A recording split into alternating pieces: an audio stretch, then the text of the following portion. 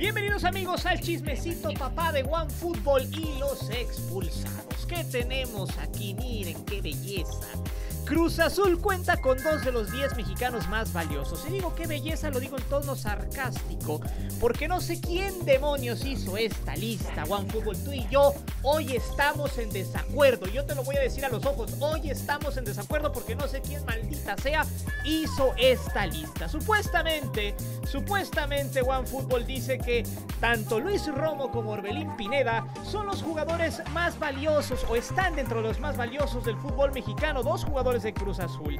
Entre ellos también está Diego Laines, Carlos Vela, Alan Pulido, José Juan Macías, imagínense, Edson Álvarez, Raúl Jiménez, bueno, lo entiendo.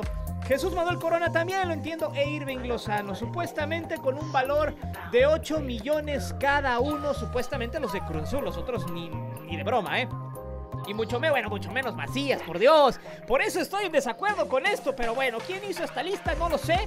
La verdad, pero sinceramente, si usted quiere encontrar el chismecito papá de los expulsados, vaya aquí abajo, descargue la aplicación de OneFootball porque es totalmente gratis. Ya que a la gorra no hay quien le corra, aunque hoy estemos en desacuerdo, tú y yo, OneFootball, tú y yo, en algún momento vamos a debatir. Saludos y besos con lengüita incluida en la superficie del corneto para Dan PC hasta Veracruz, Aldo Suamigui Mendoza, David Barca hasta Tijuas, Itachi Uchía, Giovanni Uchía hasta Palencaso Chiapas, Héctor Méndez hasta Tuxtla Gutiérrez Chiapas, Nicky Félix, Mario Monzón hasta León Guanajuato, Aldo Castillo hasta San Luis Potosí, Hugo Alcántara hasta Veracruz, Ángel Gómez, Jorge Toriz y Yayo de Ensenada. A todos ustedes y a toda la comunidad expulsada, recuerden expulsados, cuando la papaya entra por la puerta, la crema sale por la corneta. Este video debe servir como ejemplo para todos aquellos que creen que el karma nunca llegará. Que la vida les va a sonreír solo porque son personajes públicos. Para quienes se creen intocables y piensan que la justicia no se hará presente a pesar de que se hagan sus fechorías. De hecho, los dos casos que presentaré a continuación tienen eso en común. Sus principales personajes creyeron que el dinero y su opulencia les haría evadir la justicia. Además del apoyo mediático que, como siempre, los futbolistas tienen. El primer caso es el de Joao Malek, un tipo al que se le conoce en México por ser un futbolista de medio pelo y que una noche de copas, literal, mandó al inframundo a una pareja de recién casados gracias a su irresponsabilidad y a su borrachera. Ese caso ya lo hemos presentado en diversas partes en este canal, incluso hace apenas algunos meses habíamos sacado lo que parecía ser el desenlace más triste con respecto a la podredumbre que hay en el sistema judicial mexicano que terriblemente hasta ahora no tiene compostura y se protege más al killer o al delincuente que a la propia víctima. Sin embargo, pareciera que hoy a Malek le ha caído el karma y por el otro lado tenemos un segundo caso internacional de un tipo que fue campeón del mundo, que acaba de ganar la Nations League, que juega en el Bayern Múnich y que por andar de caliente le valió 10 hectáreas de berenjena lo que un juez dictara. Un proceso legal que pareciera tener un desenlace tras los barrotes de hierro.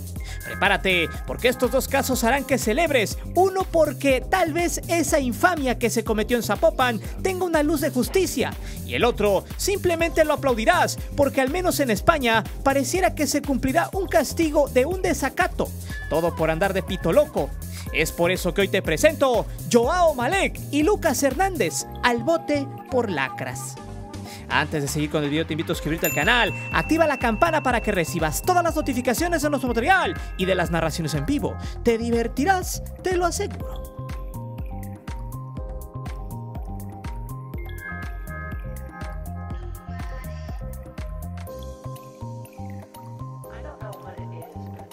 Como ustedes saben, en este canal, desde un principio seguimos todo el caso de Joao Malek, desde que su proceso empezó, luego de aquella funesta noche de junio del 2019, cuando en la peda, este mequetrefe decidió tomar su Mustang y en total estado de ebriedad, condujo por una de las avenidas más pomposas de Zapopan, entre las calles Tepeyac y Playa de Hordos, a una velocidad de entre 130 y 160 kilómetros por hora. Sin ver un semáforo a las primeras horas de la mañana, Malek y un amigo que iba de copiloto terminaron por impactar un modesto aveo, donde iba felizmente una pareja de recién casados los cuales tendrían una sesión de fotos luego de sus nupcias. En ese entonces, Joao Malek jugaba con el Sevilla B de España y en aquellos lares el juvenil mexicano de ascendencia africana tenía un futuro prometedor. En México lo tachaban de una joya aunque era pura bisutería de un jugador de buen fuelle físico y sobre todo con mucho ímpetu. Incluso ya era seleccionado nacional de su categoría. Todo pintaba para que Malek pudiera ser ese futbolista promesa que tanto los medios cotorros y paleros de siempre pregonan, al menos en México. Luego del siniestro, su caso se llenó de muchas anomalías por parte de la Fiscalía del Estado de Jalisco. Todas las irregularidades empezaron desde que Malek y su acompañante salieron del auto y se pelaron.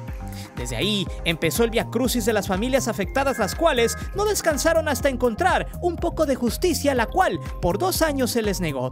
Malek estuvo muy bien protegido desde el inicio. Primero, porque los resultados preliminares del alcoholímetro fueron truqueados a pesar de que había registrado 50 miligramos de etanol por 100 mililitros de orina.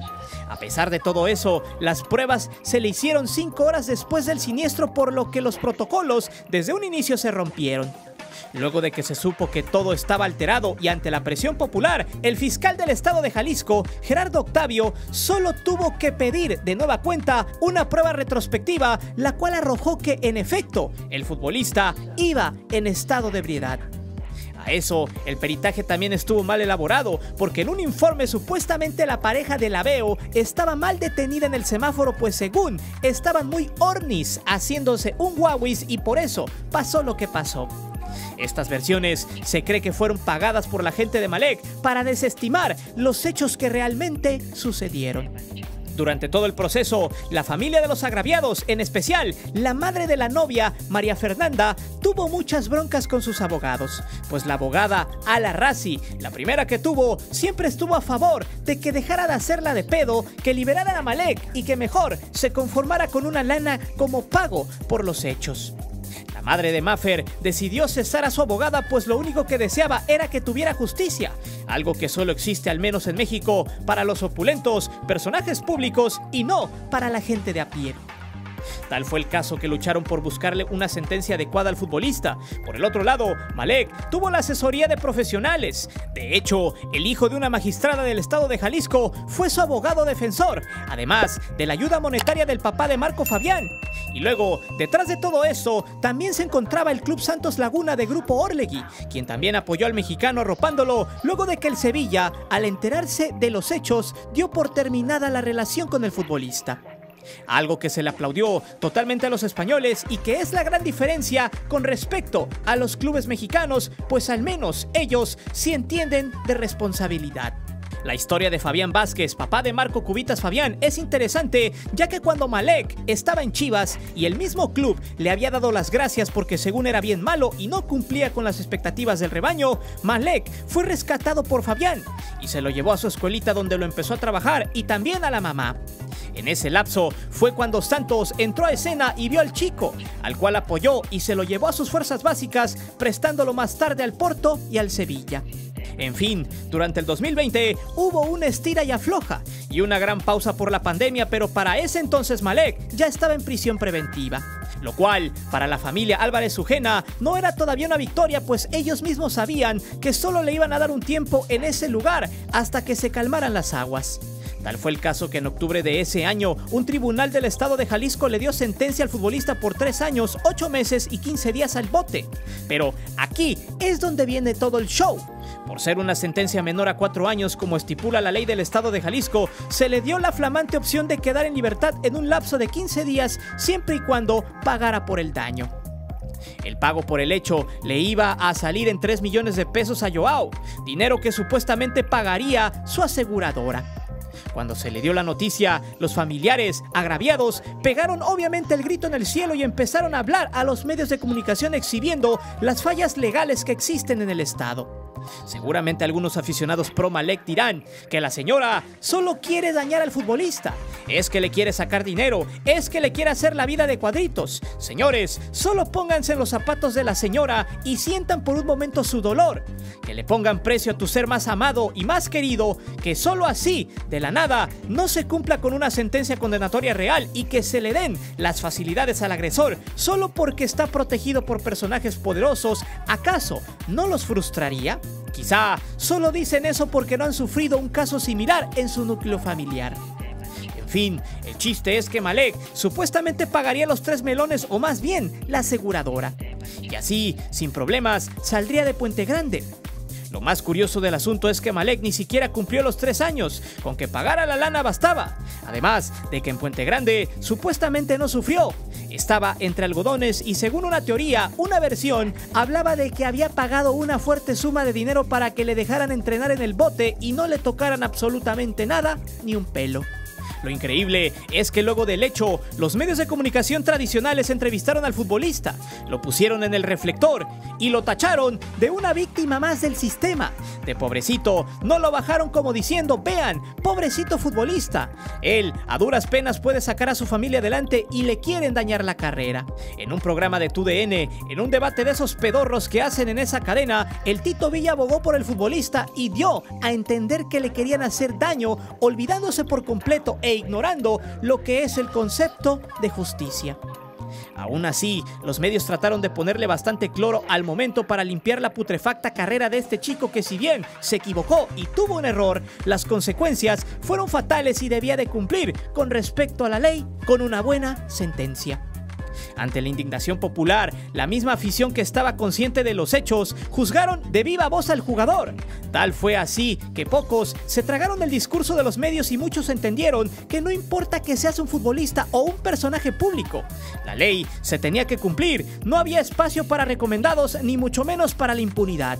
Fue así como en la última audiencia, la madre de Maffer, la señora Marta Eugena, tras ver que así como salió del botellón, el equipo cafesa de la segunda división mexicana se hizo de los servicios del polémico futbolista y luego fue ahí donde la gran ramera de la comunicación le hizo la entrevista donde Malek se decía que estaba consternado y en deuda con los familiares, que les iba a pagar y les iba a dedicar su carrera hasta la muerte.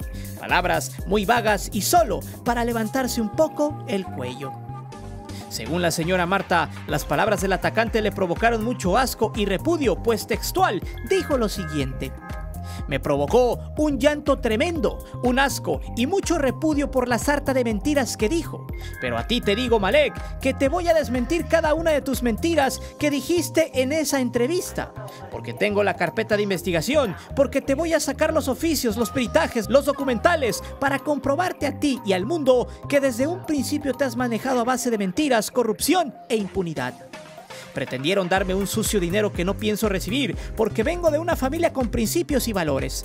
Para ti y para la gente que piensa que un millón cien mil pesos valen el adiós de mi hija, están completamente equivocados porque hasta la fecha, el día de hoy, no me han entregado ni un centavo. Ni lo voy a aceptar porque mi hija no tiene precio. Sentenció con palabras muy entrecortadas.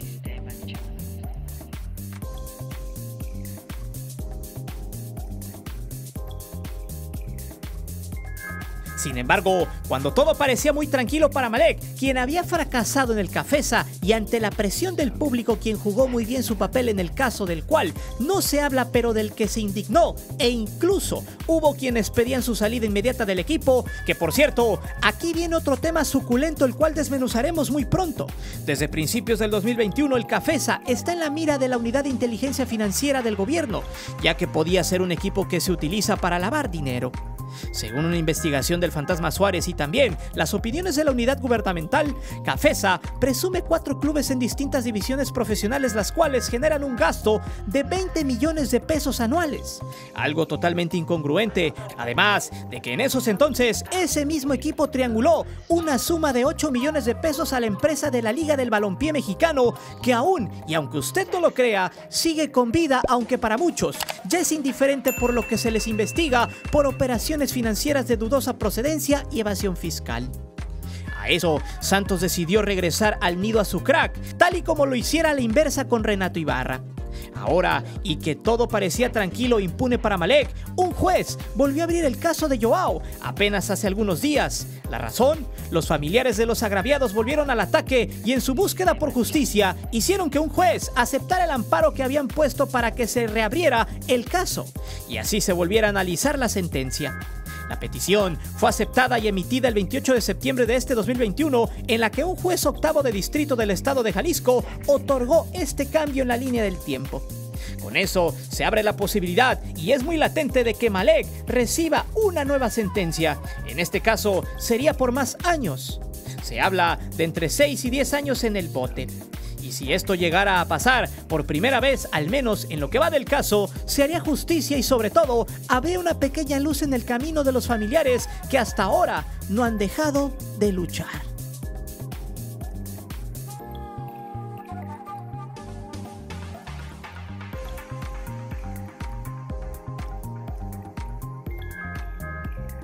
El siguiente caso, no sé si es risible, estúpido o realmente el futbolista se lo merece, pues de nueva cuenta se logra vislumbrar a un tipo con cierto poder que intentó burlar la ley de alguna forma. El caso de Lucas Hernández es en realidad un escándalo, el cual lo podría llevar al bote por una muy simple estupidez.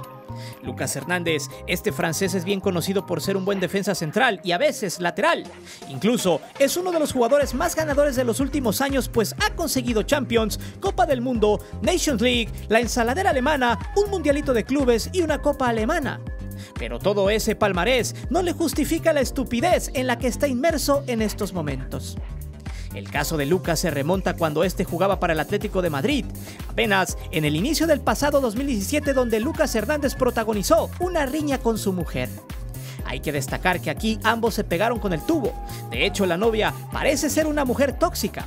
El punto es que en una madrugada de febrero de ese año, Lucas llegó tarde a su casa, alrededor de las dos y media de la mañana, cuando al dejar el coche en el garage, la chica ya lo esperaba en la puerta muy molesta y casi con la chancla en la mano. A eso, ella le pidió su cartera y su celular. ¿Por qué? Pues por cosas de mujeres tóxicas. Ya saben, amiguitos, si su novia hace eso, salten del barco y sálvese quien pueda.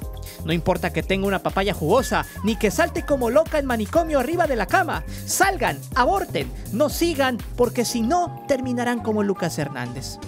En fin, el chiste es que ambos se desgreñaron esa noche que hasta con las llaves se rasguñaron. El punto es que hicieron un ruido loco y mamalón, por lo que al final de desfogar todas sus frustraciones, ambos se fueron a acusar con la policía pues Lucas le había propinado una buena macaniza, pero al llegar con la ley, esta los trató de castigar a los dos.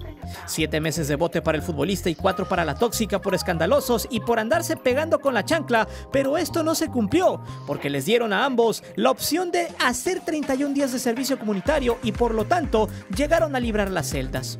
Pero lo más importante es que un juez les concedió el distanciamiento social, lo cual implicaría a estar uno del otro a más de 500 metros de distancia, por lo que había que cumplir la orden judicial. Aquí es donde yace el verdadero problema, pues en España, cuando se pide este tipo de distanciamientos hay que cumplirlos porque si no se hace, el castigo es peor. Lucas Hernández y su mujer no tenían que estar juntos en un plazo de dos años a más de 500 metros en el trabajo, en cualquier domicilio, en el aeropuerto, en donde sea, en todos lados. Había que tener cero comunicación y había que cumplir sí o sí según el amparo del artículo 48 y 57 del Código Penal Español.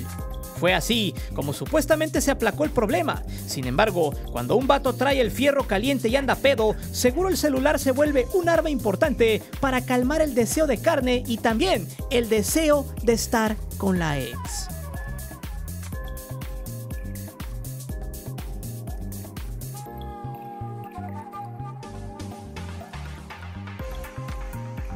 En fin, Lucas Hernández ahora tendrá que pagar por caliente. Pues resulta que luego de la orden del juez, este la quebrantó. Semanas después, se fue de luna de miel con la chica a Estados Unidos y al regreso los captaron en el aeropuerto de Madrid, rompiendo por completo la orden de alejamiento. El futbolista metió rápidamente un amparo, pero este fue desechado apenas hace algunas horas porque según la ley, Lucas Hernández tendrá que estar seis meses en prisión, pues así lo dictan las reglas y lo peor de todo, esta sentencia no fue por la riña, sino por desacato. El otro problema es que el Bayern Múnich no sabía de todo este quilombo hasta que salió en todos los medios de España y también de Alemania, por lo que ahora el club le ha dado permiso para que afronte sus responsabilidades con la ley siendo uno de los casos más absurdos, estúpidos y graciosos con respecto a un futbolista y más de la talla internacional como lo es el defensa francés. Pero la pregunta es, ¿realmente obligarán a Lucas a cumplir la sentencia? Porque simplemente quebrantó la ley y hasta ahora no parece que el futuro le sonría a este jugador. Además de que el caso ya está muy ventilado en los medios y la Fiscalía Española, al no darle el castigo merecido, quedaría como un completo payaso. La única forma de que el futbolista quede en libertad es que se desestime el caso y le den chance. Pero parece que por ahora la ley española se le aplicará al 100% al jugador. Por ahora, el 19 de octubre, el futbolista tendrá que presentarse a la fiscalía solo para elegir en qué centro penitenciario quiere estar por su pequeño lapso de seis meses. Y lo peor, el Bayern tendrá que prescindir de sus servicios por 34 partidos que restan en la temporada, siendo un total desperdicio para el club. Es así como estos dos futbolistas intentaron jugar con la ley. Uno, porque dentro de su gremio hay entes poderosos que lo protegen de un hecho del cual tendría que hacerse responsable y de que los personajes del gobierno estaban jugando a su favor. Y el otro, un amor apache que terminó en el bote pensando que todo esto era un simple juego del cual iba a salir ileso. Pero dime, ¿crees que Malek ahora sí le apliquen la justicia? ¿Qué pasará con Lucas Hernández? ¿Tendrá que vivir en el bote por seis meses? Déjame saber tus respuestas aquí abajo. Recuerda que aquí leemos siempre los comentarios y no olvides de suscribirte al canal y de activar la campana de notificaciones. Mi nombre es Guillermo Antonio. Nos vemos. Hasta la próxima.